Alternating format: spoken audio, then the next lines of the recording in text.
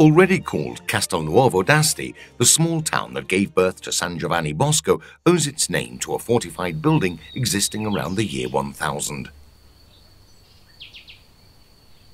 Having passed from the local lords of Riva and Biandrate to the marquesses of Monferrato, Castelnuovo was then subjected to the commune of Asti before becoming, after passage to the Savoy family, fief of Marquis Carlo di Simiana's consort, Matilda di Savoia.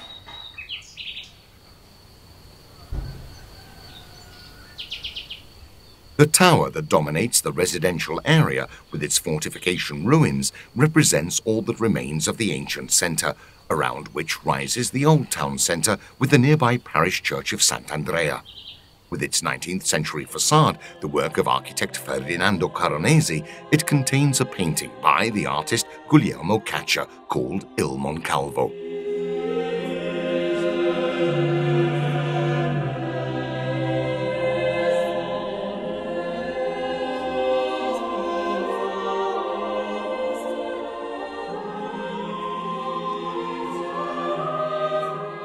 In addition to certain buildings of historical and architectural interest, like Villa Filippello and Palazzo Rivalba, Castelnuovo includes a significant 18th century church dedicated to San Bartolomeo, and outside the town centre, some remains of ecclesiastical buildings of Romanesque origin.